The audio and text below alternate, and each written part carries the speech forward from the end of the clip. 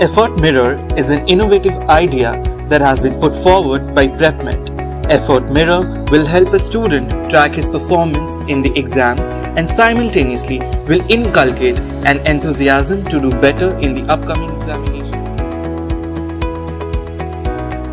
Firstly, if we go through the Effort Mirror page, we can see there's a column for percentage correct and percentage error. So here you all have to plot the percentage of correct answers in blue and the percentage of incorrect response in red which should and definitely be lower as compared to the correct ones. Always try keeping your percentage of correct response in the yellow region else your condition will be alarming. With subsequent exams you will be able to track your performance.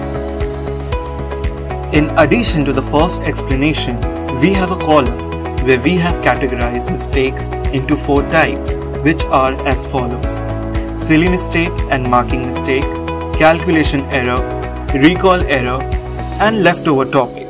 Using the same color, you have to plot the graph in the confined region. This will make you aware of the mistakes which you can rectify in future. We have divided the columns into four different parts of respective colors as been described in the instruction column below. You are supposed to plot the type of mistakes using the same color and that will help you keep a check on the mistakes you have committed once you plot the graph. Try to keep the number as low as possible. Keep the performance soaring high.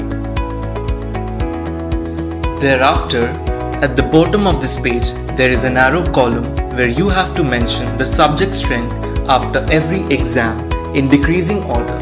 For example, if biology was the best among the three, it should be kept first, followed by either chemistry or physics as per your performance, post which you are supposed to get each column after every exam signed by your guardian. Lastly, we have created three slides as examples where we have shown the performances of three students. The first student being the one where the student has been improving with each exam the second student who has not shown any improvement, and the third and the last one where the performance has deteriorated. So, students, keep the performance soaring high and rise and shine. Thank you.